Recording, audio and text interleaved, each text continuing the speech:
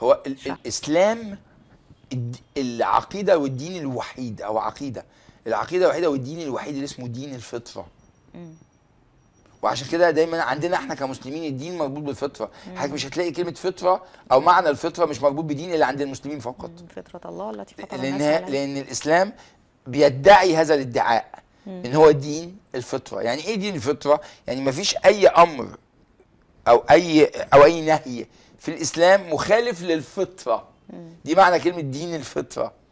مفيش لا أمر أمر ب ب ب يعني يتبعه المسلم أو نهي ينتهي عنه المسلم مخالف للفطرة.